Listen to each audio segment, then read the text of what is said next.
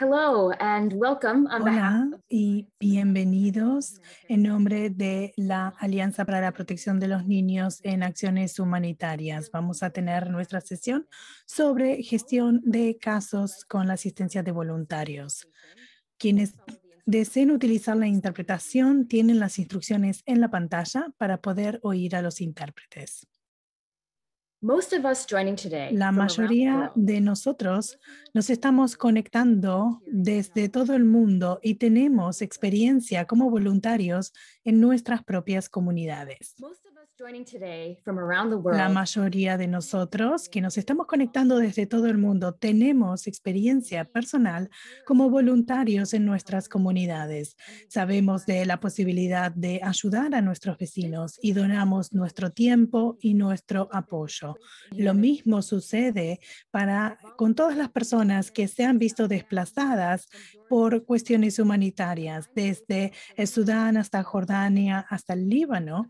Hay montones de voluntarios que están asistiendo a eh, sus em, congéneres a través de la asistencia, especialmente ante desastres naturales o incluso la pandemia. Así que organizamos en conjunto con la Alianza para la Protección de los Menores en los esfuerzos humanitarios, es que queremos ver cómo mejor podemos apoyarlos en su tarea para poder entender cuáles son las responsabilidades que tienen las organizaciones para poder apoyar y acompañar mejor a los voluntarios. Queremos poder reflexionar sobre todas estas cuestiones para poder entender mejor cuáles son los desafíos que enfrentamos y cómo los podemos sortear juntos. Yo soy eh, Colin Bichera, que trabajo en la Alianza y soy quien va liderando este proyecto.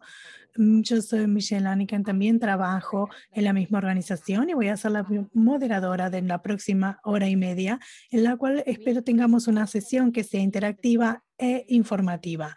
Les pedimos por favor que utilicen el chat para compartir sus comentarios, ya sea en árabe, en español, en inglés o en francés. Y también tienen la opción de, de presentar sus preguntas en la función de QIA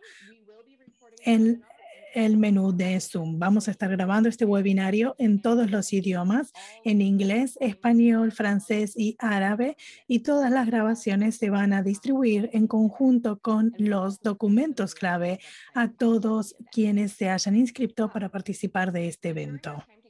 Durante nuestra sesión juntos queremos lograr cuatro objetivos. En primer lugar, queremos darles la oportunidad para que podamos reflexionar sobre las experiencias, oportunidades y desafíos que enfrentan los voluntarios. En segundo lugar, queremos poder presentarles los hallazgos y las recomendaciones de la investigación que hicimos el último año, compartir con ustedes este informe de investigación y los documentos de promoción y finalmente poder compartir los siguientes pasos y que vamos a tomar y conversar diferentes posibilidades para hacer una tormenta de idea y ver cómo podemos seguir de aquí en adelante. Así que queremos darle ahora la bienvenida a nuestro primer panelista, José Pueblo, que está trabajando en un proyecto en nombre de la Alianza y nos va a compartir su experiencia. En primer lugar, quiero decir que es un excelente trabajo el que han hecho y que estoy muy orgullosa de que podamos lanzar esto. Nosotros estamos muy contentos en nuestra organización porque creemos que las comunidades son importantes y por lo tanto es fundamental el trabajo que estamos haciendo. Y cuando nos pusimos a pensar por qué nos lanzamos con este proyecto, tuvimos que de hecho volver atrás en el tiempo, empezar a pensar por qué nos había surgido esta necesidad, porque sabemos que las comunidades están compuestas por muchísimos individuos, muchísimos voluntarios, docentes y demás que son quienes están allí en la primera línea asistiendo a los niños. Son quienes pueden mejor que nadie identificar y detectar a un niño con necesidades y tomar los primeros pasos para poder protegerlos y responder.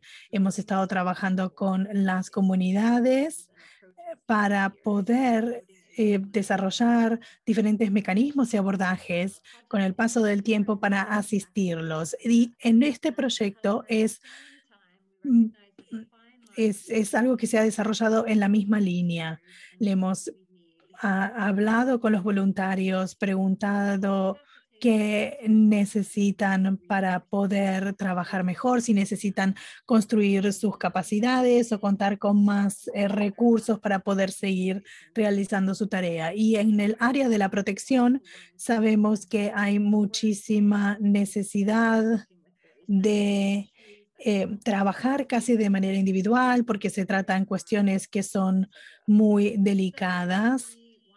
Así que lo que quisimos con este proyecto es ver cómo podemos aprovechar a los voluntarios ya presentes en la comunidad para asistir mejor a los niños en sus necesidades sin poner demasiada presión sobre los voluntarios y su tiempo y sus capacidades. Sabemos que hay muchísimos de ustedes que están aquí en este evento, pero también con sus comunidades, trabajando estrechamente con ellos. Así que esperamos que este informe y el trabajo que se va a ir desarrollando a continuación sea beneficioso y los ayude en su tarea. Muchísimas gracias a todos por su participación y espero que podamos eh, seguir avanzando con eh, lo que estamos haciendo y aprendiendo a trabajar cada vez mejor. Y muchísimas gracias a la Alianza por eh, darnos el espacio para poder recabar y compartir toda esta información. Muchísimas gracias, Beth, y me acuerda que me alegra que hayamos podido resolver los problemas técnicos. Pasamos a Colin entonces. Antes de continuar, querríamos saber quiénes nos están acompañando hoy.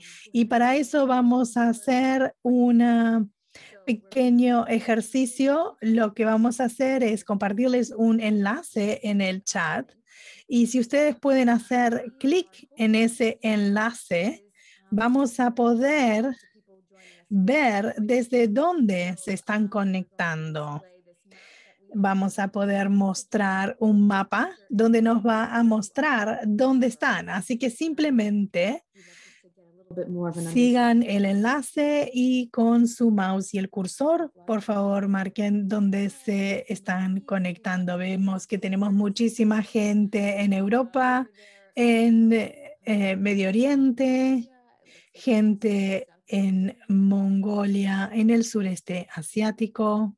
Leticia from Cameroon, excellent. Tenemos también Leticia de Camerún.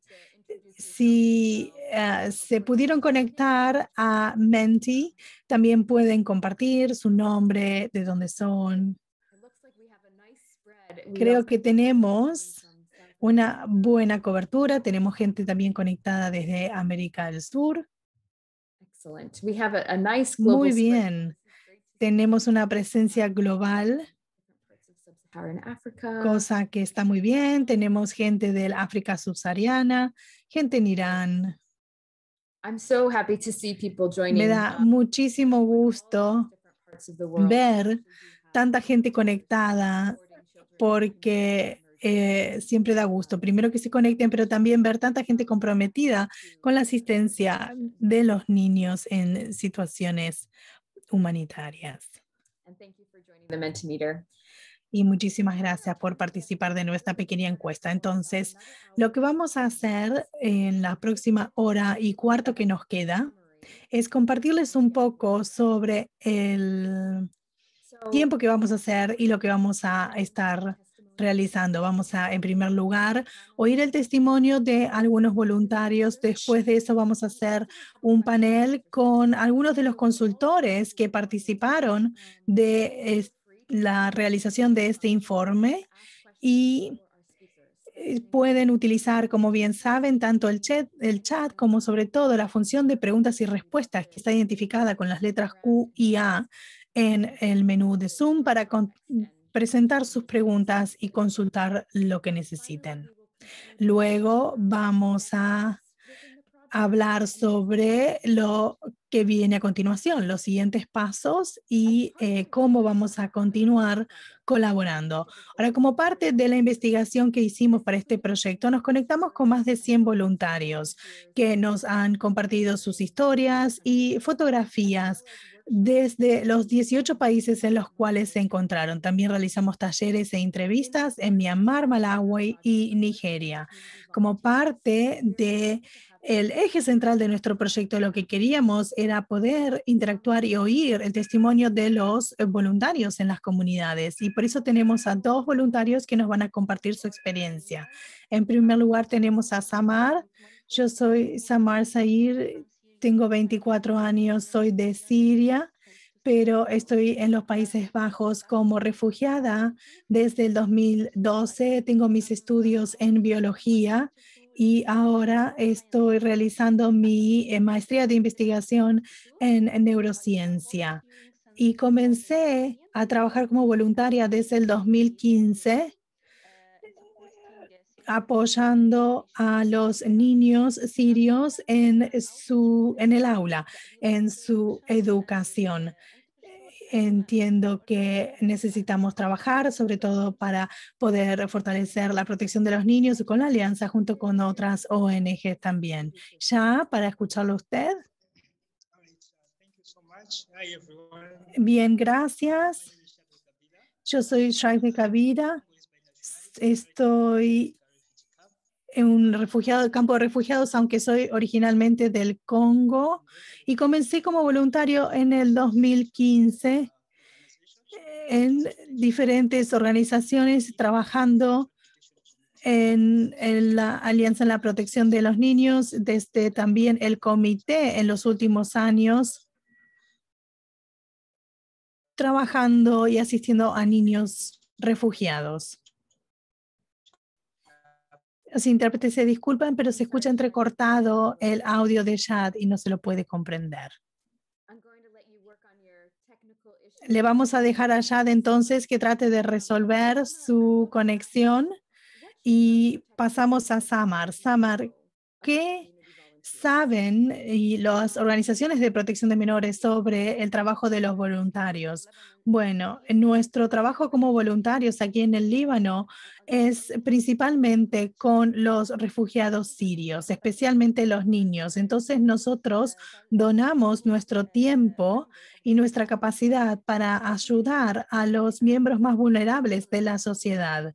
Y por eso trabajamos y generamos debates sobre el trabajo infantil, el acoso, el maltrato y el abuso para poder brindar la protección en conjunto con nuestra oficina. Ahora, durante la pandemia de la COVID, también comenzamos a asistir con el aprendizaje, sobre todo el aprendizaje remoto, dado que los niños no podían asistir a clase en las escuelas proveyéndoles también la posibilidad de que a través de las actividades de streaming de, puedan también tener un espacio donde compartir cómo se sienten. Con la pandemia han sido un poco difícil poder acompañarlos porque solíamos visitarlos en sus hogares, pero ahora tenemos que conectarnos de manera electrónica. Entonces, lo primero que necesitamos es fondos. Tenemos que tener la mayor participación y la mayor disponibilidad de fondos para poder interactuar y conectarnos con los niños refugiados. Y además necesitamos capacitación para los voluntarios. Así que me siento muy agradecida de poder estar asistiendo a los niños y de poder seguir manteniendo el contacto con ellos en estas circunstancias. Ya pasamos a usted. ¿Qué querría compartir usted con las organizaciones de protección de niños? Bueno, gracias por su pregunta. Como decía, Yo trabajo con Plan International, que es una organización que se dedica a la protección de los niños para poder em, prevenir los diferentes retos y abusos a los que son sometidos los niños. Trabajamos en los campos con los refugiados y también tenemos una serie de mecanismos para, que nos permiten determinar y, asegurarnos que a los niños se los refiera a los servicios adecuados según lo que necesiten. Entonces es una respuesta de parte de las agencias de protección de los niños para asegurarnos que los niños estén a salvo físicamente. Son todos niños que salen de sus propios países em, sin ser acompañados por un adulto. Y por lo tanto, tenemos que eh, poder garantizar su seguridad, sobre todo porque están solos y viven solos.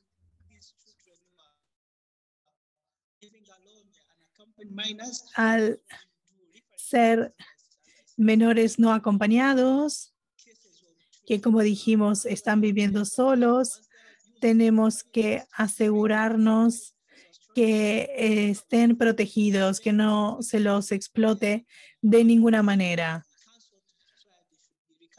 ni laboralmente, ni sexualmente, ni de ninguna otra forma. Shad, ¿nos puede oír?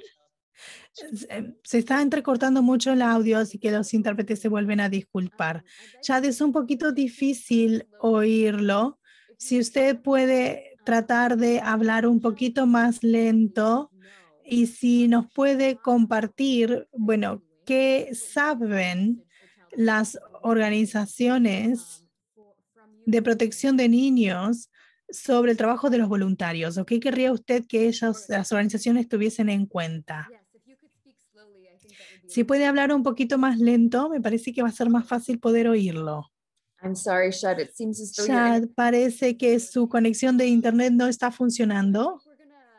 Creo que vamos a tener que ver si lo podemos asistir detrás de escena y en todo caso volvemos a usted más adelante. Pero tenemos que seguir adelante con la sesión porque tenemos una agenda muy ajustada para el día de hoy. Bueno, gracias Shad y Samar por compartir el trabajo que están haciendo. Así que muchísimas gracias. Gracias por compartir y por acompañarnos el día de hoy compartiendo las experiencias y sus mensajes en nombre de los voluntarios. Vamos a pasar entonces ahora a presentarles nuestro proyecto. Tenemos a los cuatro consultores que estuvieron apoyando el trabajo. Tenemos a Nuestros consultores de país, Kinsa de Myanmar, Lara de Nigeria y Bright desde Malawi. Eh, Glynis Glachati, quien dirigió el proyecto, no puede estar con nosotros, pero sí tenemos a los cuatro consultores de país que nos se van a estar contando sobre el proyecto. Vamos a comenzar con nuestro debate eh, mientras um, so can we have retomamos, creo que. Um, so Glynis, oh, oops, Colleen. Colleen, porque Glynis nos encuentra, Colleen va a contarnos en nombres, en nombre de Glynis, así que no, no Glynis, sino Colleen. Si nos pueden contar, bueno, ¿cuál era el objetivo de la investigación? The aim of the research Bueno, el objetivo de la investigación era poder generar un mejor entendimiento de las comunidades, de los voluntarios comunitarios que tienen responsabilidades dentro del proceso de gestión de casos. Entonces, hablamos con los voluntarios entendiendo mejor cuáles son los aspectos en la gestión de los casos que realizan dentro de las diferentes organizaciones, incluso en conjunto con las ONGs, entender exactamente mm, los diferentes aspectos. Okay, del trabajo de estos miembros en las comunidades y cómo se organizó la metodología de la investigación. Sí, por supuesto, la metodología que utilizamos fue bastante única porque utilizamos una metodología comparativa. Eh, partimos desde la teoría y la comparamos con la realidad. Y lo que hicimos fue comenzar con una investigación bibliográfica y luego compararla a través de las entrevistas con la experiencia en la realidad de los diferentes voluntarios. Entonces utilizamos eh, lineamientos, capacitaciones y mm, resúmenes bibliográficos para comenzar con la revisión de la literatura disponible. Luego de eso pasamos a las entrevistas. Hicimos 32 entrevistas con académicos, así como quienes están trabajando en el campo mismo, como por ejemplo coordinadores, gerentes, supervisores de voluntarios también. Y luego también analizamos la realidad a través de 68 historias fotográficas diferentes que nos hicieron llegar los voluntarios mismos. Y finalmente trabajamos sobre cuatro casos de estudio específicos, trabajando con los voluntarios y con sus gerentes coordinadores para poder comprender mejor la naturaleza de su trabajo. Y lo que encontramos fue una correlación muy fuerte entre la base evidencial y la investigación em, de la literatura. Y entendimos que esto era fundamental para el éxito de los voluntarios y que además se reflejaba en los casos de estudio puntuales. Bien, muchísimas gracias. Y podríamos, por favor, presentar un poco el contexto humanitario en el cual se desarrolló el proyecto. Bueno, trabajamos en tres países puntual, puntuales. Trabajamos en Myanmar, en Malawi y en Nigeria, especialmente en contextos humanitarios de eh, personas desplazadas. En Malawi trabajamos con, perdón, no trabajamos, seguimos trabajando en el campo de refugiados, en un área también de desplazamiento interno a causa de un ciclón de hace unos años. En Nigeria tuvimos una combinación de organizaciones de protección de menores, tanto locales como internacionales, que están trabajando, que todas están haciendo gestión de casos de protección de menores. Así que tuvimos en estos países la oportunidad de tomar todas estas experiencias y los aprendizajes que vamos a recabar en casos de estudio que van a ser publicados y compartidos. Ahora, volviendo a los hallazgos y las recomendaciones de la investigación, ¿nos puede Lara decir o ejemplos de cuáles son las actividades que este, estuvieron facilitando con los voluntarios en Nigeria y qué hallaron desde su em, investigación?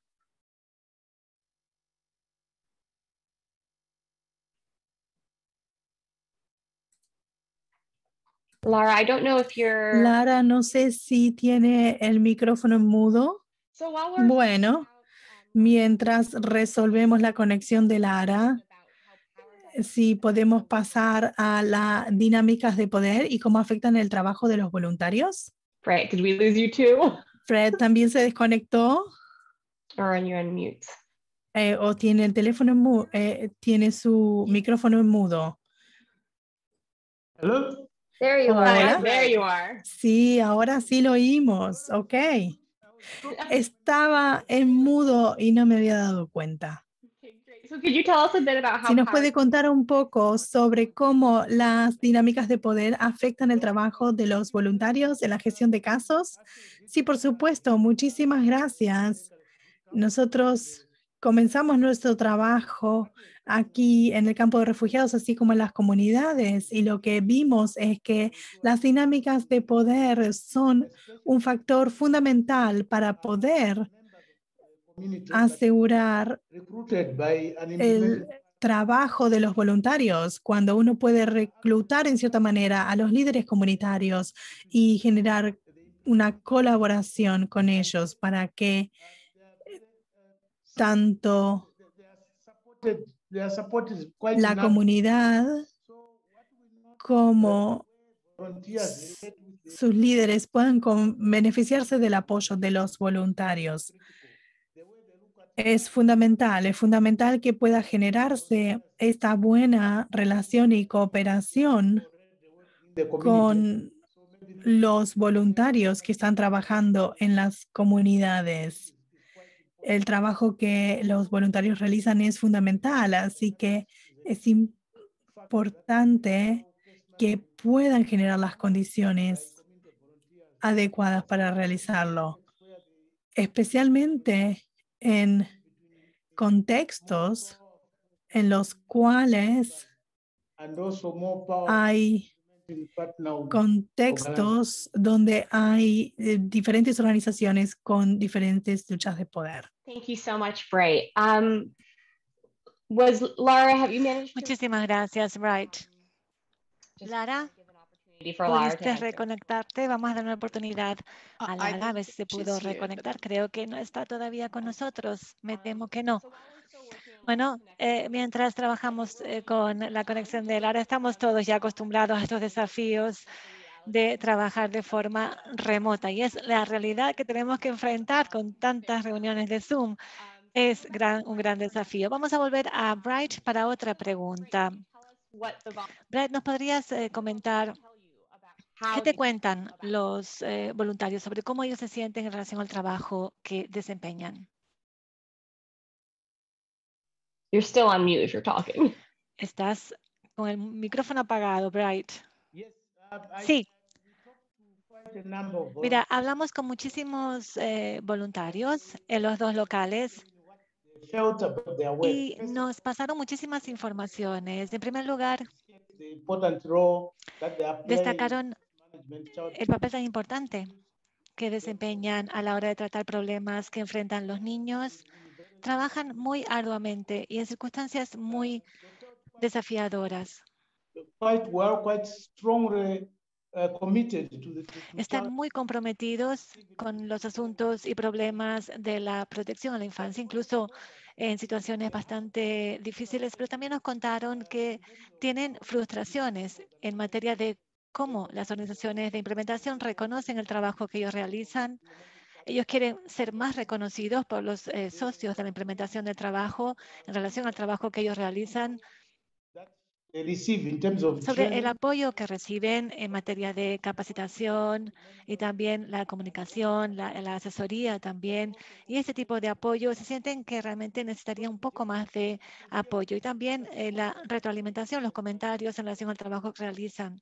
Esto es básicamente lo que me han contado, pero sí que hay muchos desafíos que ellos sienten que las organizaciones de implementación en el campo podrían ayudarles más. Y también el contexto en el que se encuentran, a veces ellos tienen que eh, realmente That's very interesting, esforzarse mucho, poner muchísimo esfuerzo y tiempo, a, a veces también a, a merced del trabajo y, y de sacar tiempo personal y el tiempo que tendrían que dedicar a sus familias. También, ¿cuáles son los desafíos personales? También podrías un poquito hablar un poco más sobre los desafíos personales que los voluntarios mencionaron. Son varios, pero voy a comentar aquí algunos. Creo que el más importante que ellos sentían es la, el reconocimiento. Sienten que aunque hacen muchísimo trabajo por la comunidad, eh, siendo un poco el puente entre las comunidades y los socios, eh, no se sienten que son reconocidos, que su trabajo se reconoce. En segundo lugar, sienten que todo el trabajo que ellos realizan no se remunera. Y el tema realmente no son, no tiene que ver tanto con los incentivos monetarios, sino incentivos que son no monetarios, que también pueden tener un papel importantísimo en el trabajo que desempeñan de forma cotidiana. También en el campo de refugiados, ODECA,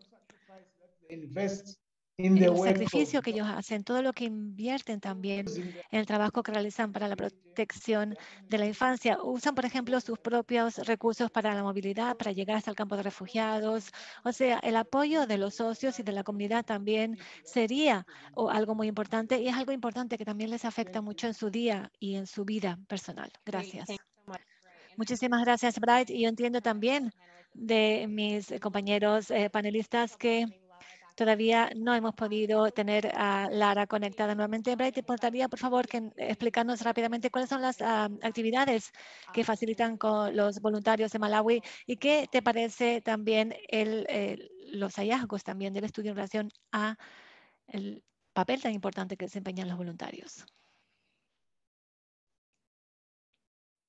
I think you're still on mute, Bright. Creo que sigues con el micrófono apagado, Bright. Sí, sí, sí. Ahora. Mira, como parte del estudio que hicimos, hicimos varias, varios, varias reuniones de consulta con el gobierno, con los propios voluntarios también y con las eh, agencias, con los socios de implementación y con su plantilla. Y también realizamos entrevistas especiales con las organizaciones de implementación, con el equipo de gestión de estas organizaciones de implementación en el terreno y lo que tuvimos básicamente fue después también una reunión también con em, la, plantilla de gestión del Plan Internacional y también de la ONG local con la cual estamos trabajando. Y en, en, general, bueno, lo que surgió de este tipo de reuniones fue que había muchísimo interés a la hora de apoyar al voluntario pero cuál era el tipo de apoyo que, está, que es necesario es un área un poquito gris todavía. No hay mucha claridad en relación al tipo de apoyo que pueden prestar. Esto es lo que quiero y lo que me gustaría decir, sobre todo en relación al trabajo de los voluntarios de Malawi. El proceso continúa, todavía está en marcha y vamos a tener todavía otra oportunidad para compartir con todos ustedes el plan que está en marcha para implementar también las recomendaciones de este estudio que se ha realizado. Gracias. Great, thank you so much, Bright. Muchísimas um, gracias, Bright. Y creo que ahora finalmente tenemos nuevamente a Lara conectada. Antes de seguir con nuestra próxima sección de preguntas eh, de Colin, me gustaría dar la oportunidad a Lara ahora de que pueda compartir con nosotros un poquito de lo que ella piensa en el estudio realizado en eh, el papel de los voluntarios sobre la gestión de casos y los desafíos y retos enfrentados por los voluntarios. Lara, ¿puedes por favor abrir el micrófono y responder esas preguntas? Sería excelente si pudieras. Muy bien. Lo siento mucho porque me tuve que desconectar. Mi nombre es Lara y soy la consultora de investigación trabajo en Nigeria y bueno, cuando hablamos de los papeles eh, que vemos, eh, el papel, los papeles que desempeñan los voluntarios en la comunidad, tiene que ver con el hecho de que los voluntarios de la comunidad tienen muchísimos papeles que tienen que desempeñar en la comunidad. Em, tienen que hacer, por ejemplo, eh, derivaciones de casos, tienen que encontrar también, identificar a los niños vulnerables dentro de la comunidad y después ellos también apoyan al Em, el gestor del caso en el área, haciendo todo el seguimiento de todo el apoyo de las estructuras de la organización de la protección infantil, también haciendo em, sesiones de concienciación dentro de la comunidad. Tienen muchísimos papeles y, deberes que tienen que hacer. Ellos básicamente apoyan a la comunidad y siendo un poco el enlace, el puente con los diferentes servicios eh, que atienden a esta comunidad. Eh, trabaja en diferentes localidades y trabaja muchísimo a la hora de apoyar a los gestores del caso en Nigeria. Muchísimas gracias, Lara. Muy interesante cómo eh, trabajan en la comunidad y cómo son tan importantes en la comunidad. Y me pregunto si el papel que ellos desempeñan en la comunidad también les supone, les plantea desafíos personales a los voluntarios. ¿Ellos te contaron un tipo de reto o desafío personal que le impacta y que le causa el trabajo que realizan como voluntarios? Sí, muchísimos desafíos que tienen que enfrentar. No tenemos tiempo para hablar de todos ellos, pero algunos les voy a comentar. Uno de los desafíos que ellos eh, mencionaron es básicamente de la eh, motivación. Cuando hablo de motivación es el trabajo que los voluntarios de la comunidad tienen que desempeñar. Básicamente, lo que ellos eh, hacen no les eh, remuneran hasta tal punto que puedan realmente cubrir todas las necesidades de sus familias. También las retaliaciones, amenazas de algunos miembros de la comunidad cuando ellos van a notificar o a denunciar casos vulnerables, también incluso de algunos miembros de la familia, eh, porque piensan que sus propios hijos no tienen atención del gestor de casos cuando estos niños no realmente están en una situación de que, en que realmente necesitan este tipo de servicio eh, tienen que eh, trabajar, moverse mucho en diferentes localidades, eh, tienen que recorrer muchísimas distancias, el problema de la movilidad también y el tema también del multitareas. Ellos tienen que hacer diferentes tareas al mismo tiempo, tienen también crisis, problemas emocionales, sobre todo cuando tienen que lidiar con casos de niños muy traumáticos o mm, casos muy, muy delicados. Bueno, hay muchos más, pero porque no tenemos mucho tiempo voy a dejarlo por ahí. Gracias. Muchísimas gracias, Lara. Estoy tan feliz que pudimos eh, volver a oírte y que te pudiste reconectar para oír realmente todo lo que nos ha contado del trabajo realizado en Nigeria. Muy um, interesante. Siguiente diapositiva, por favor. Ahora que ya hemos oído hablar un poquito de los hallazgos del trabajo de investigación de campo, eh, ¿cómo se relacionan estos hallazgos con lo que hemos visto en el estudio global? Muchísimas gracias, Michelle, y gracias a Bright y a Lara. Después vamos a tener tiempo también de hacer preguntas a los dos más tarde, porque yo sé que ustedes, lo que ustedes han hecho y han encontrado en los estudios eh, pilotos de cada país es muy rico. Bueno, uno de los principales hallazgos de la revisión biográfica y de la revisión también de literatura semi-publicada es que hay una mezcla realmente del tipo de voluntariado que ellos realizan. Básicamente tenemos tres tipos de voluntarios generales. Y aquí tú nos puedes ayudar, Kira. Primero tenemos del lado izquierdo, tenemos una línea continua, que es lo que llamamos de voluntarios verdaderos, auténticos. Y del otro lado de esta línea tenemos los paraprofesionales o lo que podríamos llamar también los trabajadores o gestores de casos. Y en el medio tenemos algún tipo de voluntarios que eh, fueron o tenían remuneración. Cuando exploramos estos tres eh, tipos diferentes de voluntarios, lo que surgió en el estudio es que la diferenciación, los diferentes tipos de voluntariado, normalmente está basado en cosas como, por ejemplo, nivel de instrucción, educación. Muchos paraprofesionales tienen una educación secundaria, por ejemplo. Han tenido una formación más extensa, también pasado más tiempo en el trabajo y tienen un alto nivel de responsabilidad en la gestión de casos. Sin embargo, cuando vimos la realidad en los eh, eh, países donde se llevó a cabo el estudio piloto, en Birmania, Malawi y Nigeria vemos que estos tres tipos no siempre se aplican de forma lógica en la realidad. Podríamos esperar, por ejemplo, que alguien que es un paraprofesional o un gestor de casos o asistente social de alto nivel tendrían que lidiar con asuntos de alto riesgo, pero no siempre ocurre así. A menudo lo que hemos encontrado es que los voluntarios con muy poquitos niveles de educación y de formación tienen que enfrentar y lidiar con eh, casos de alto riesgo. Incluso tienen que trabajar jornadas muy, muy largas. Estos voluntarios no tienen formación suficiente, tienen muy poca supervisión, que hacen muchísimo más el trabajo que deberíamos o que deberían ser llamados mm, o llevados a cabo por un paraprofesional o asistente social, o sea, el voluntario de tipo 3. Y esto, claro, que tiene consecuencias para los niños a, los cuales atienden, para las eh, familias de las comunidades y para, para la eficacia, la efectividad del eh, caso también del programa. Lo que hemos visto de los dos tipos de estudio, el global y también lo que hemos visto en los eh, países donde se ha desarrollado este estudio piloto es tener otro tipo de enfoque, donde este tipo de voluntarios, que es el tipo 1, trabajen junto con los paraprofesionales y, y, no se les deje a ellos la carga principal de la gestión de casos eh, todos los días. Vamos a pasar a la siguiente diapositiva, Kira.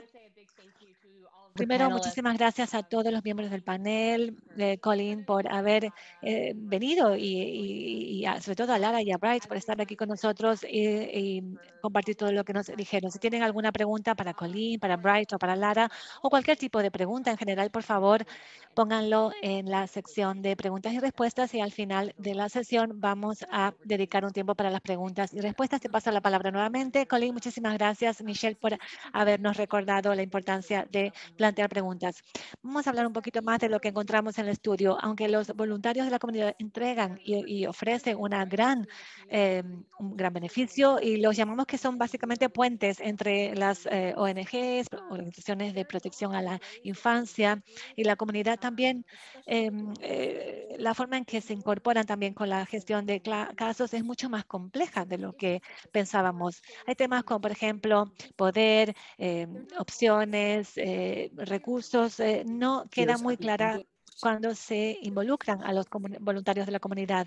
Estos estudios también nos muestran que hay diferentes formas eh, también de trabajar con la gestión de casos y el trabajo también es muy delicado, sobre todo cuando trabajamos con niños muy, muy vulnerables.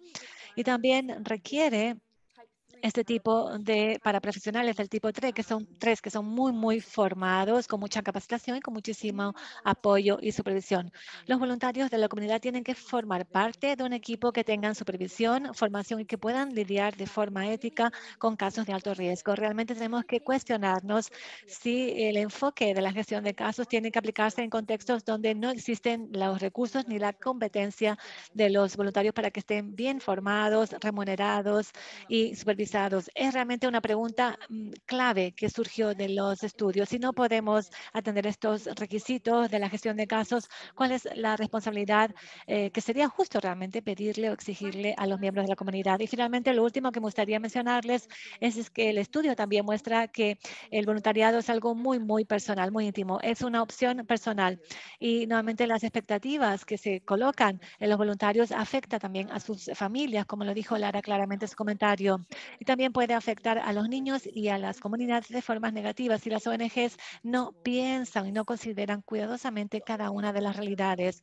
Todos estos puntos puntos, por lo tanto, son muy, muy importantes de lo que encontramos en el estudio. Y lo que nos gustaría también eh, compartir es que, si, bueno, si hay que recordar algo de la sesión de hoy, serían estos seis mensajes principales. Primero, lo que hemos aprendido con este estudio es que los voluntarios eh, aportan beneficios enormes a las ONGs y a las comunidades, pero a menudo no tienen los recursos suficientes y se les utiliza demasiado en exceso para que se les pueda considerar voluntarios de verdad. En segundo lugar, la mezcla de em, falta de claridad en relación a los papeles que tienen que desempeñar, la falta de apoyo para el voluntariado y también la dinámica de poder lleva a una dinámica que es realmente de explotación eh, y es claramente insostenible. También las comunidades tienen que involucrarse en todos los aspectos del trabajo del voluntario. Cuatro, los riesgos eh, planteados a los voluntarios y también a los niños y sus familias tienen que ser mitigados de la, a toda costa. Y esto quiere decir que eh, las organizaciones y sus socios tienen que coordinarse para realmente eh, tener esta inversión también, esta es una necesidad urgente de invertir en la, en la plantilla, en todo el mundo que trabaja con la protección de la infancia, incluyendo los voluntarios de la comunidad y los gestores de casos remunerados y formados. Y también, claro, los socios de la protección de la niñez tienen que coordinar para poder tener eh, normas y enfoques armónicos para involucrar a los voluntarios. Muchísimas gracias, Colleen. Bueno, pues con este lanzamiento de este trabajo estamos muy emocionados de poder compartir con todos estos documentos. Eh, son documentos que básicamente tienen el objetivo de darles un mejor entendimiento y las mejores prácticas de defensa y promoción de la protección infantil. Tenemos básicamente dos informes sobre eh, los actores de la el trabajo comunitario en la gestión de casos. Este solamente está disponible en inglés, pero eh, los otros recursos sí que están traducidos al árabe, español y al francés. Después tenemos eh, también este otro informe que es sobre la, el resumen también de todo lo que estuvo eh, y arrojó el estudio. Está disponible, como dije, en inglés, árabe, español y francés.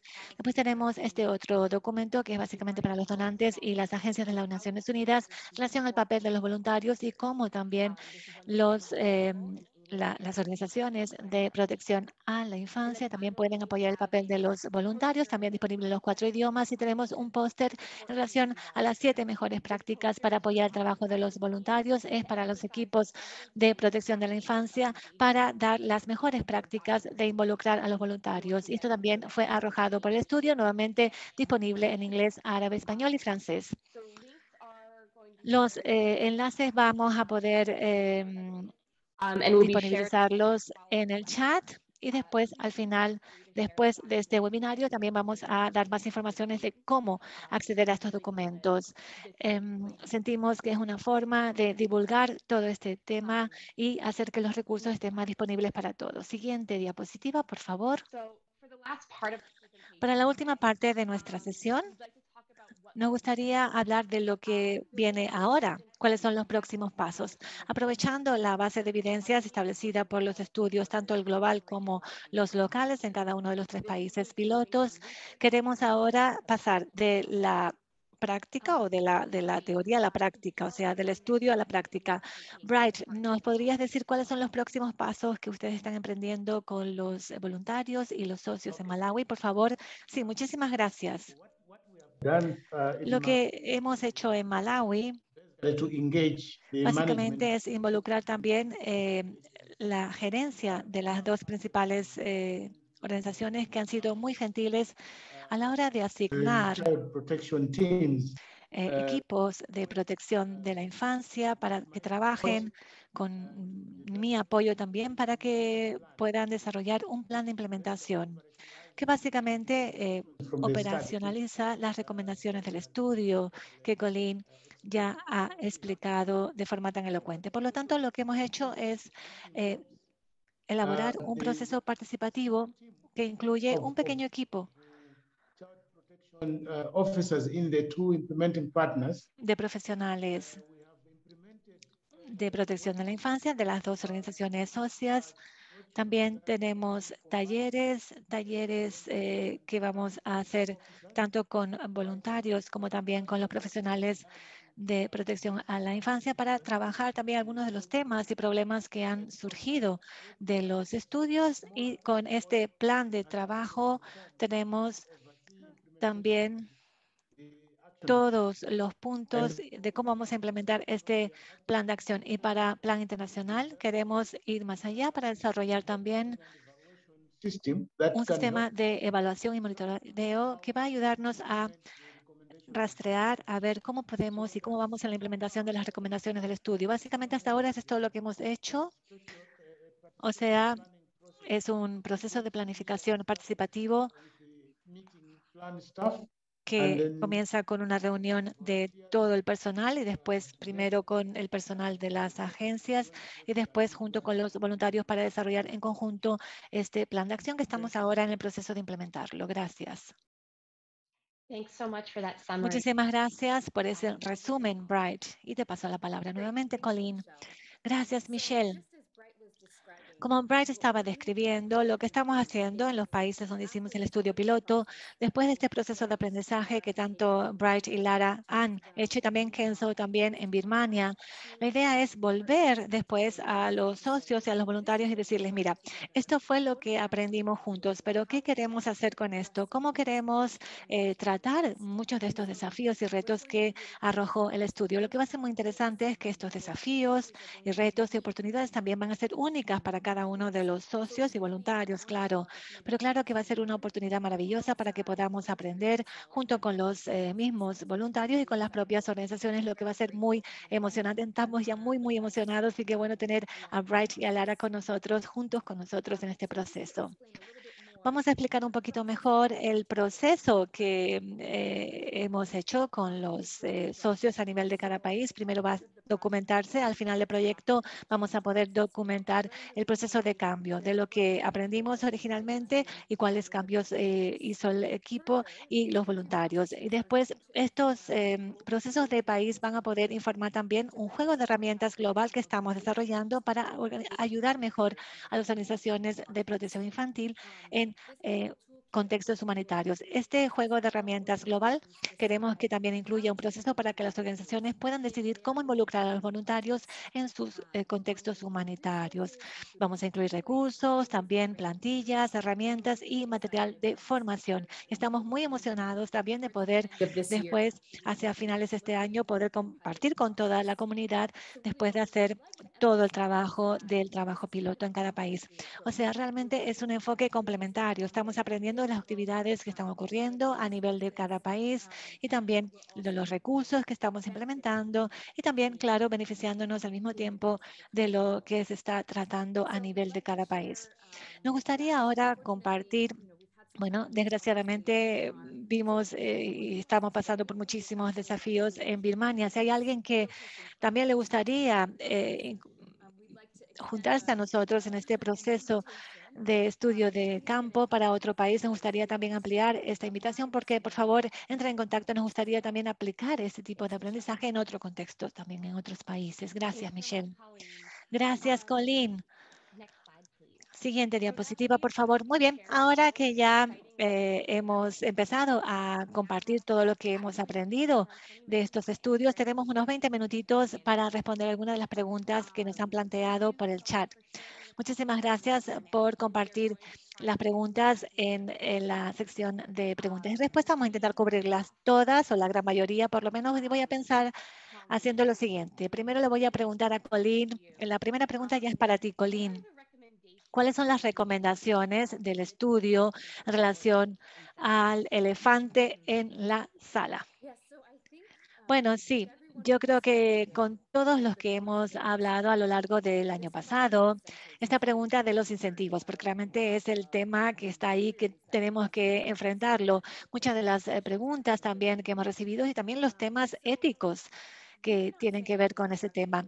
No estamos diciendo en las recomendaciones que los incentivos sean algo bueno o malo necesariamente. Lo que sí que estamos diciendo es que es muy importante pensar de forma cuidadosa la aplicación de los incentivos. Eh, lo que hemos pensado es que básicamente hay tres factores clave para considerar. En primer lugar, tenemos que considerar el contexto. Algunos contextos no permiten, eh, por ejemplo, remunerar a los voluntarios o a los refugiados con salarios. Sabemos que es un desafío, sobre todo en los contextos de refugiados, pero también es importante que veamos otros factores, como la presencia de otros socios y ONGs. Si ellos están pagando incentivos a los voluntarios y cuánto le pagan. En el estudio vimos que a veces cuando hay eh, nuevas ONGs que llegan en un contexto determinado, ellos ofrecen un incentivo más alto para que, bueno, con eso los voluntarios de otras organizaciones salen para y van para otra agencia. Y realmente esto crea muchas interrupciones y problemas con todas las consecuencias para los niños que son atendidos. Tenemos que tener, por lo tanto, esta mejor coordinación entre agencias. Otro punto en relación a los incentivos es la sostenibilidad. Claro que si el programa de gestión de casos puede institucionalizarse para que cambie para y vaya realmente al, al área gubernamental, sería la situación ideal. Pero sabemos que no siempre es posible en contextos humanitarios. Tenemos que pensar cuál es eh, la sostenibilidad del trabajo voluntariado, sobre todo cuando las ONGs no pueden mantener su presencia durante mucho tiempo. Algo que tal vez podría ser una opción es considerar también proyectos de subsistencia al, junto o al mismo tiempo que el trabajo voluntariado como una mejor opción. Y finalmente, el tercer factor que tenemos que considerar cuando hablamos de incentivos es la relación que existe entre las organizaciones de protección a la infancia y voluntarios. Hemos visto también casos de suposiciones que son hechas que con pequeños incentivos los voluntarios se consideran trabajadores y se les pide que trabajen muchísimo tiempo y que lidien también con trabajos o con casos muy, muy difíciles porque se les paga, pero ese pago no les cubre necesidades familiares y también, por lo tanto, como tienen que trabajar grandes jornadas no pueden, no les sobra tiempo para tener otro tipo de remuneración con otro tipo de actividad profesional. Hay muchísimas consecuencias, como ustedes eh, ven. Estos voluntarios estarían mejor siendo voluntarios auténticos y claro, que no se espere de ellos que tengan que trabajar jornadas muy largas. Y con esto tendrían tiempo para hacer otro tipo de actividades, podrían apoyar a la ONG con sus actividades de voluntariado, pero también tener algún tipo de medio de subsistencia, por otro lado. Básicamente lo que queremos eh, Em, eh, enfatizar, sobre todo con este gran elefante en la habitación en relación a los incentivos. Primero, considerarlo para cada contexto y ver también, considerar, tener en cuenta estos diferentes factores. Queremos enfatizar que la gestión de casos requiere personal remunerado y también supervisión y formación robusta. Y si no podemos atender estos requisitos, tendríamos que reconsiderar este enfoque adoptado. Muchísimas gracias, Michelle. Gracias, Colleen. Un poco en ese sentido, tengo una pregunta para Bright. Uno de los participantes se pregunta, ¿qué piensas que debería ser el papel de los voluntarios en la gestión de casos? ¿Cuál es el apoyo necesario para involucrar a los voluntarios de la comunidad? Bright, ¿tienes alguna idea que quieras compartir con nosotros? Sí, yo creo que eh, básicamente la respuesta a esa pregunta ya la dio Colin. Yo creo que los eh, papeles de los voluntarios necesitan ser muy claros. En primer lugar, tienen que estar muy claramente definidos, considerando también el contexto en el que cada organización trabaja, el nivel de incentivos también que se ofrece a los voluntarios y también la formación, la capacitación que se ha invertido en cada voluntario. Por lo tanto, los papeles dependen mucho en qué tipo o con qué tipo de voluntario estamos lidiando. Los papeles eh, más complejos, como por ejemplo los gestores de casos, tienen que dejarse para las personas que están recibiendo remuneración y también que son incentivados como profesionales, mientras que el tipo de trabajo como por ejemplo una derivación de caso, otro tipo de actividad se podrían dejar para los eh, voluntarios auténticos que trabajan menos horas de forma también con incentivos un poco irregulares, donde no hay tampoco incentivos monetarios. Y también importante sobre lo que dijo Colin, tenemos que entender también el contexto en el cual estamos trabajando tenemos que ver también quién más está trabajando para un tipo de trabajo semejante en el contexto. Por lo tanto, cuando vayamos a elaborar un incentivo para un voluntario, sea coherente con lo que eh, los otros también están recibiendo. Tenemos, por lo tanto, que tener esta coordinación entre agencias que es vital para definir claramente el papel de los voluntarios. En resumen, es esto lo que me gustaría explicar, pero creo que la respuesta de Colin ya la cubrió muy bien. Gracias, Bright. Bien, gracias. La siguiente pregunta que tengo es tanto para Bright como para Lara, así que tal vez Lara puede contestar primero. Pero bueno, ¿cómo se describen los voluntarios a sí mismos? Esto es dentro de los diferentes contextos lo que nos interesa saber, así que por eso querríamos comenzar con Lara. Hablamos de, por ejemplo, las expectativas antes de comenzar a trabajar con una ONG o si los em, roles y las funciones y las responsabilidades estaban en línea con lo que esperaban. Era una pregunta un poco larga, pero lo que sí queríamos saber es, bueno, ¿cómo se describen los voluntarios a sí mismos? Y cómo se compara con las expectativas que tenían antes de comenzar a trabajar con una ONG. Lara. No sé si está hablando Lara, pero tenía el mudo puesto. Perdón, perdón. Ahora sí la podemos oír. Bueno, fue interesante por hablar con los voluntarios y preguntarles cómo se sienten sobre sus funciones y ellos mismos, porque aquí en Nigeria se sienten muy bien, en general tienen una impresión positiva de sí mismos, sienten que están ayudando y apoyando a sus comunidades. Y un voluntario en particular que dijo que si bien era estresante para Em, él no le importaba eso porque estaba haciendo algo para poder cambiar la vida de los miembros de la comunidad. Entonces, eh, por lo general hay una sensación de orgullo y de contribución. Y cómo se sienten o cómo se compara en el antes y después. Bueno, hemos recibido informes de parte de voluntarios en los cuales tienen una buena opinión sobre su trabajo como voluntario y que a veces lo que les pasaba era que sentían que no tenían un rumbo y que no sabían muy bien exactamente cómo manejar sus actividades y que ahora sienten que tienen un poquito más de dirección, pero sí están haciendo muchísimas cosas productivas y los voluntarios están recibiendo más em, el apoyo que necesitan. Así que creo que en general es eh, un panorama positivo. No puedo demasiado, agregar demasiado, sino simplemente expresar mi acuerdo y mi coincidencia, porque los voluntarios siempre tienen características que son fundamentales. Una de ellas es que son parte de la misma comunidad a la que están ayudando, así que los motiva a construir y contribuir a la comunidad en la cual pertenecen.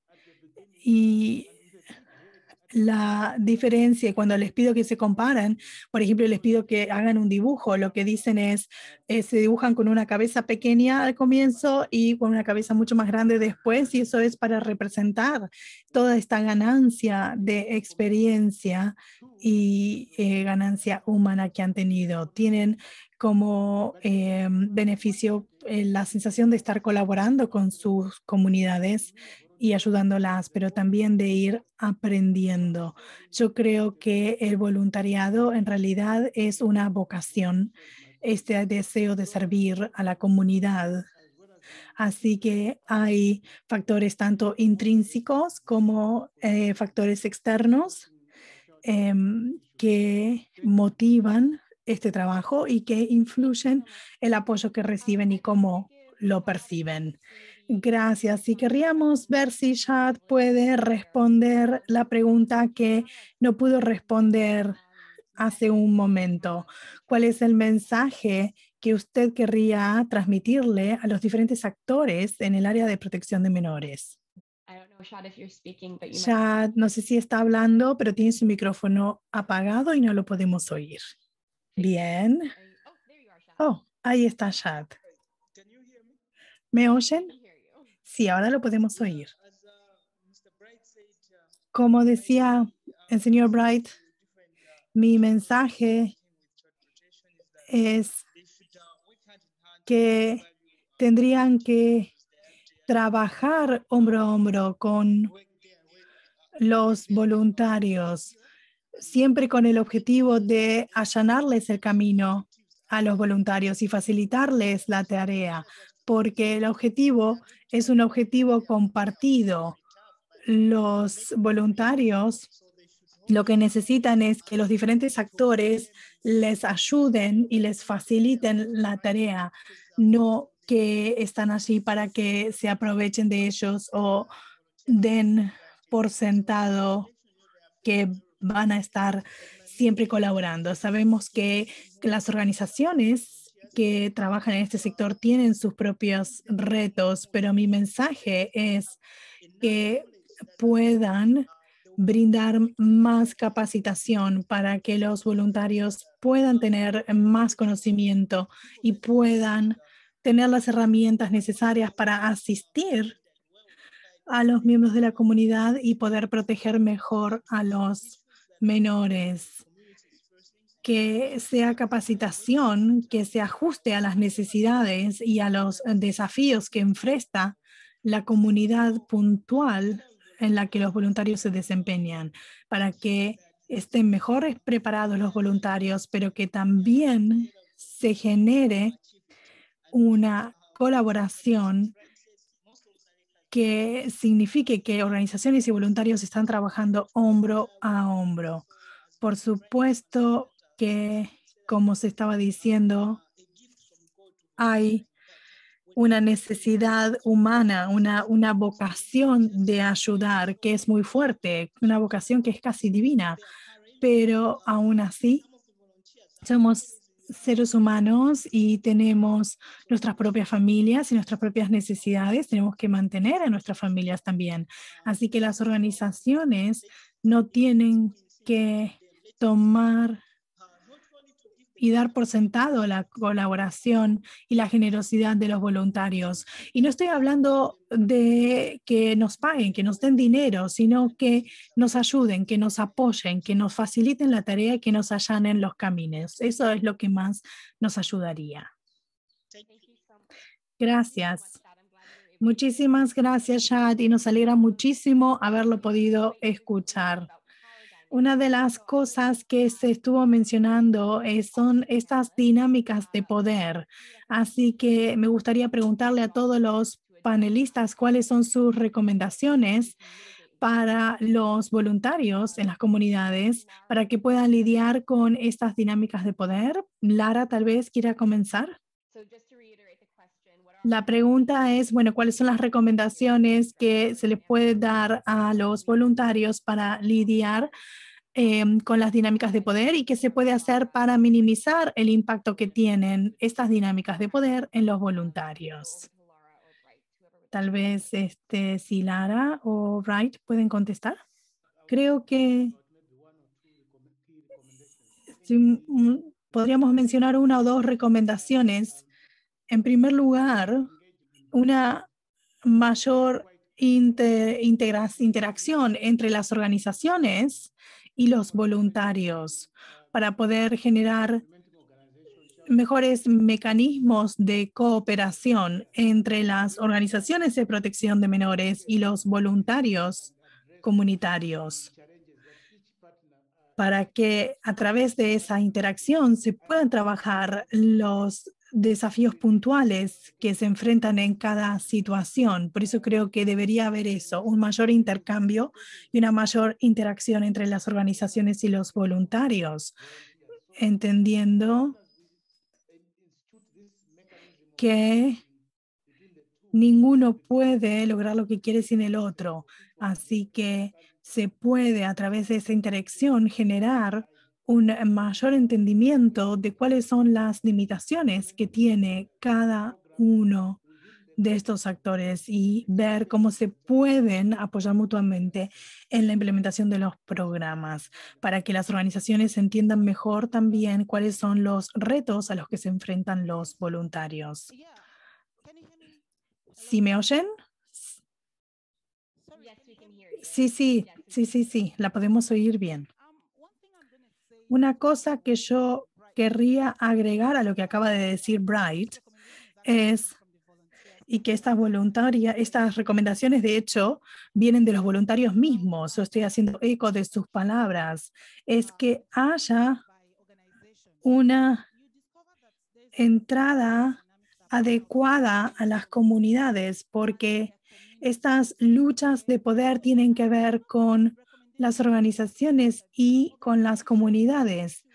Las organizaciones deberían tener comités de entrada adecuados, explicarle claramente a estos comités cuáles son sus funciones, sus objetivos, sus tareas y cuál es su papel dentro del proyecto y de la organización, porque cuando eh, las comunidades pueden entender mejor y claramente cuál es la función de los voluntarios, qué limitaciones tienen, qué pueden hacer y qué no, entonces se generan mejores expectativas, se gestionan las expectativas para que no se espere más de lo que los comités de voluntarios pueden hacer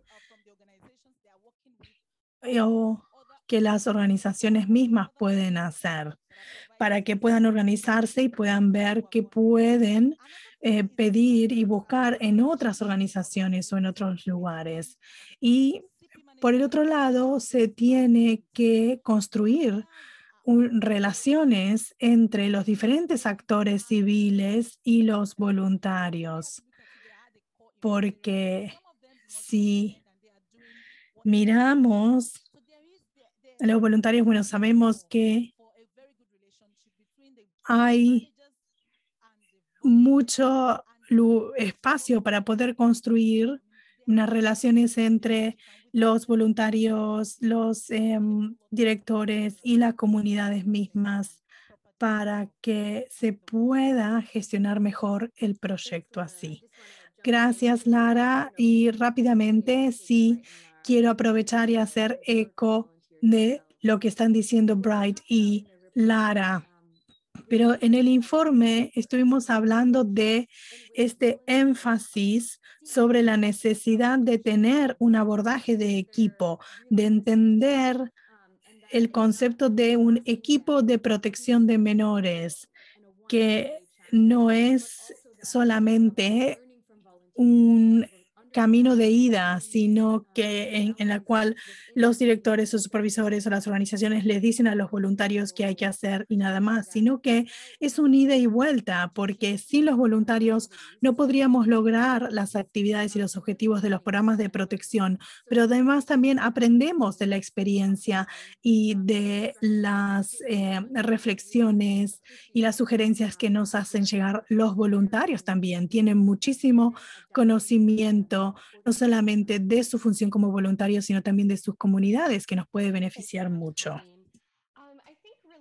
To this, it would be interesting to hear um, from the Creo que en relación a esto sería interesante también saber lo que creen los eh, miembros del panel y también si el estudio mostró algo sobre cómo mejor seleccionar los voluntarios y cómo hacer que eh, los voluntarios continúen con el paso del tiempo eh, seguros en, en- en el trabajo que realizan, si hay algún tipo de recomendación también en relación al proceso de selección de los voluntarios. Bueno, voy a comentar lo que yo pienso. Mira, en relación a la selección de los voluntarios de la comunidad, hubo mucha discusión en este sentido de los gerentes de las organizaciones de protección de la infancia.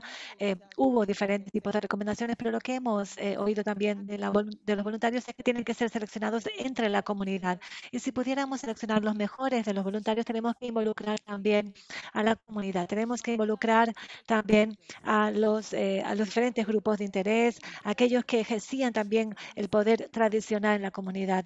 Y también los niños también tienen que estar involucrados en, esta, en este proceso de selección, porque son ellos los que van a trabajar eh, de una forma mucho más estrecha con los voluntarios de la comunidad. Como ya dije, tienen que ser seleccionados entre la comunidad, de la comunidad. Y también eh, tiene que haber mucha justicia también en este proceso. Hemos oído hablar de casos donde los, los líderes comunitarios tradicionales eh, oyen hablar del proceso de selección y no actúan de forma justa, queriendo poner eh, delante o tener o darle prioridad a gente de su familia o a sus niños, por ejemplo. Pero vamos, el- la recomendación principal en este sentido es que los voluntarios tienen que salir de la misma comunidad para estar seguros de que estamos ofreciendo los mejores voluntarios posibles. Gracias. Gracias, Lara. No sé si Bright quiere añadir algo. Sí. Un punto importante es que en este momento lo que hemos visto en este estudio es que el sistema para la selección de voluntarios no está organizado. Hay diferentes formas, diferentes procedimientos de hacerlo y en la mayoría de los casos no está documentado este proceso de selección. Parte de la recomendación tiene que ver con la armonización de este proceso y tener un proceso transparente que rinda cuentas y que también incluya lo que dijo Lara, que involucre a la comunidad y también a los diferentes grupos de interés y también incluso incluir, involucrar al gobierno, porque tiene que ver con las autoridades que están realmente involucradas en el proceso. Es con esto con lo que me gustaría añadir a esta pregunta. Gracias. Gracias, Bright. Y un poco como una pregunta muy relacionada con esta, tuvimos también una pregunta sobre cómo las eh, cualificaciones educativas eh, son diferentes entre los diferentes contextos. Colleen, ¿tenemos algún plan para desarrollar algún tipo de norma de escolaridad mínima para los voluntarios? Sí, pregunta interesante esta. Y sí que tenemos que cuando estamos eh, creando estos eh, documentos de orientación global, tienen que ser muy adaptables. Yo creo que lo que va a ser más importante en este sentido, en los recursos que estamos eh, elaborando, es primero elegir el enfoque más adecuado para trabajar con cada voluntario de acuerdo con cada contexto. Esto tiene que ocurrir primero y después, claro, entendiendo muy bien el contexto. Por lo tanto, vamos a tener algunos, por ejemplo, espero que podamos elaborar algún tipo de muestra en relación a referencias y un poco mostrando el papel que van a desempeñar los voluntarios y las competencias y habilidades necesarias. Yo creo que independientemente del nivel de instrucción educativa o independientemente del contexto, creo que lo más importante a la hora de seleccionar voluntarios es la capacidad de los voluntarios y sobre todo la confianza que les inspira a los niños de la comunidad. Por ejemplo, a veces decimos, bueno, la capacidad que tienen para rellenar formularios o para trabajar con eh, la burocracia y todo el papeleo que implica su trabajo, pero realmente lo más importante realmente es tener este elemento de confianza, confianza de la comunidad, de los niños con los cuales van a trabajar y tener este tipo también de eh, comunicación, habilidad de comunicación. Bueno, si tenemos miembros de la comunidad también que son eh, remunerados y por lo tanto son formados y se les va a contratar como gestor de casos, tendría que tener otro tipo de formación. Este sería un proceso en el cual los voluntarios pueden eh, empezar en esta línea continua desde el inicio y con el tiempo y con la formación adecuada y con la asesoría y supervisión adecuadas, podemos también ah, ayudar a estos miembros de la comunidad a convertirse más tarde en un gestor de casos. Esto es lo que nos gustaría ver. Pero bueno, básicamente si alguien es responsable por hacer una gestión de casos a tiempo completo, esta persona tiene que recibir la remuneración y la información adecuadas, como ya habíamos comentado anteriormente. Espero haber podido responder la pregunta. Yo creo que fue muy útil, muy útil tu contribución para la pregunta. Para la próxima pregunta viene de Samara. Y dice el, básicamente, y para Chad también, ¿cuál fue el, cuál fue el primer o principal desafío a la hora de trabajar con gestión de casos con niños y familias en relación a la confidencialidad? Y mantener también el principio de eh, mantener la confidencialidad. ¿Cuáles son los principales retos y desafíos cuando tienes que trabajar con niños y familias de la comunidad? Yo creo que eh, lo principal es eh, primero lograr esta confidencialidad y compartir. Primero tenemos que presentarnos de una forma adecuada para que no sé cómo expresarme, pero para dejarles realmente o pasar para ellos la confianza que tienen que tener nosotros al niño y, y, a la familia. Si estamos, por ejemplo, trabajando con un caso por ejemplo, de eh, acoso sexual o de abuso sexual, tenemos primero que eh, presentarnos eh, de forma que nos tengan confianza y que la familia realmente tenga confianza en nosotros para que el niño y ellos todos se puedan expresar de forma libre. Muchísimas gracias. Eh, Shad, ¿quieres añadir algo a lo que dijo Samar? Como dijo mi compañera, la confidencialidad siempre es. Tenemos problemas con el audio de chat.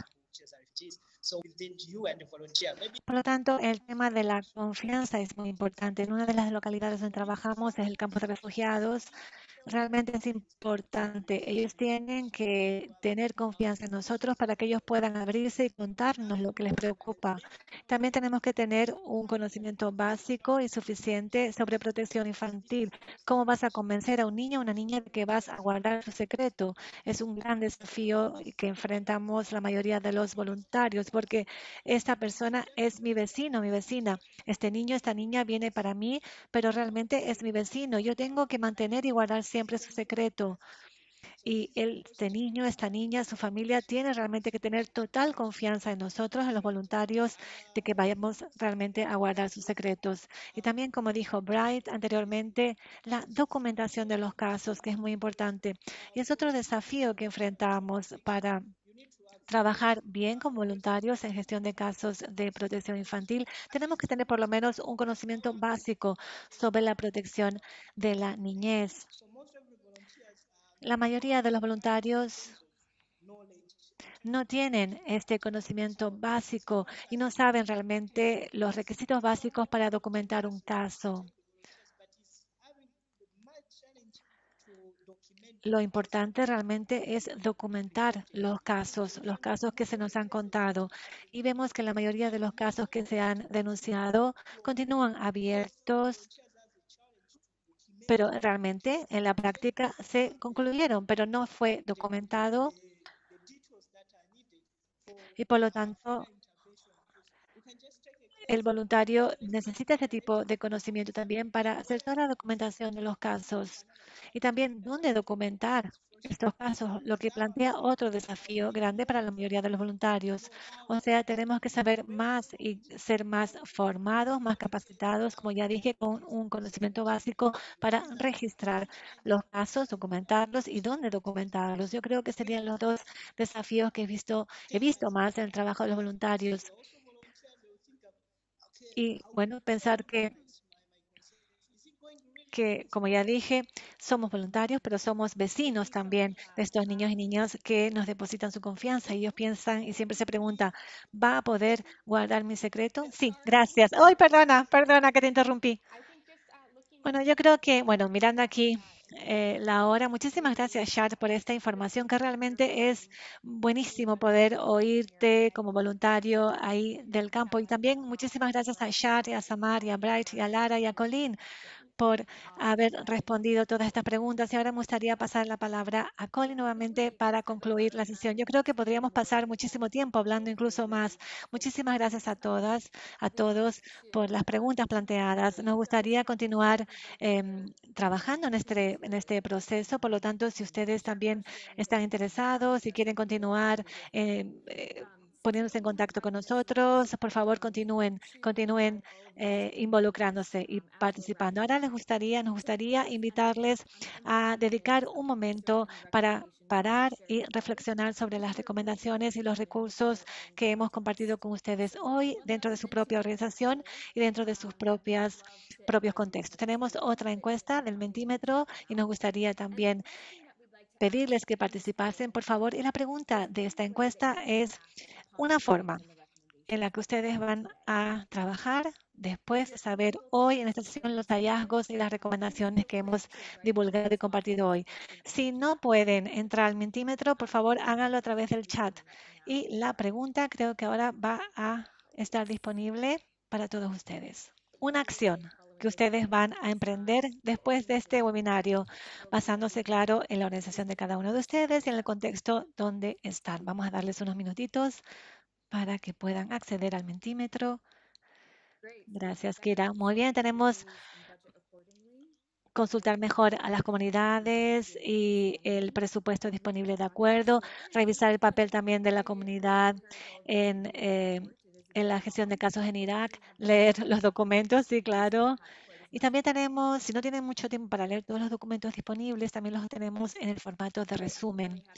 Qué bueno, estoy viendo aquí todas las respuestas que están apareciendo. Yo creo que esta alianza con las comunidades es algo que también nos gustaría hacer hincapié. Sí, y tener este tipo de relación más honesta con las comunidades y con los voluntarios de las comunidades también sería interesante. Muy bien. Muchísimas gracias a todos por las respuestas. Creo que podemos pasar por algunas de ellas. Miren, fíjense la cantidad de respuestas. Más capacitación para los voluntarios. Sí, alguien también dijo un poco de eh, reflejar un poco los paralelos que existen con los voluntarios sanitarios. Este tipo de estudio fue mucho más enfocado en, en eh, gestión de casos en la protección de la infancia, pero realmente tenemos que pensar lo que ocurre con voluntarios de otros sectores. Estamos, y claro, totalmente disponibles para colaborar con otros ahora que estamos entrando en esta nueva parte del proyecto. Tenemos solamente dos minutitos. Lo siento mucho porque tengo que eh, poner fin a esta sesión. Y si tienes algo también, incluso después de concluir la sesión. Vamos a documentar todo. Continúen, por favor, subiendo sus respuestas al mentímetro, incluso después del fin de la sesión. Muchísimas gracias a todos. Gracias por las contribuciones. Gracias por estar conectados con nosotros.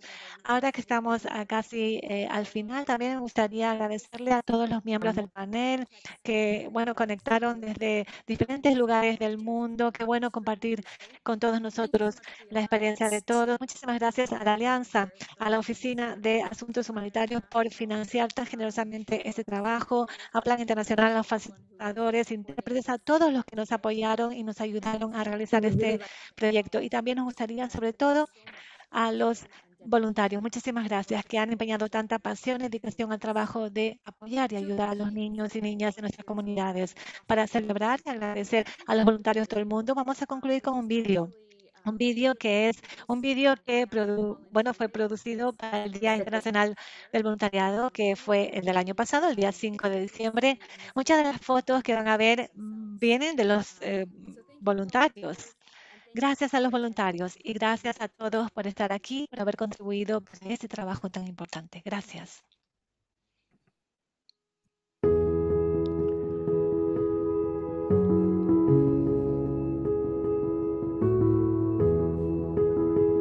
Voluntarios. Son nuestros vecinos, un amigo, alguien que nos escucha, un intérprete, un guía. Notan cuando estamos enfrentando problemas y son los primeros a responder. nos abren las puertas y cuando llegamos a un lugar nuevo, están justo allí con nosotros, de nuestro lado. Se les aprecia en la comunidad porque trabajan todo el día para niños y niñas como nosotros. Nos entienden y nos aconsejan. Nos animan y nos apoyan. A veces se arriesgan por nosotros. Son nuestros traductores e intérpretes cuando nadie nos entiende. Nos ayudan a solventar problemas. Nos oyen en confianza. Están junto a nosotros para que podamos ser valientes. Nos ayudan a mantenernos seguros. Son mucho más que nuestros vecinos. Nos cuidan, nos empoderan, nos protegen, nos valoran y nosotros los valoramos a ellos. Este año, más que nunca, los voluntarios han desempeñado un papel importante en la línea de frente de la protección de los niños y niñas. Existe valor en los voluntarios. Vamos a celebrar el valor de los voluntarios el día 5 de diciembre, que es el Día Internacional del Voluntariado.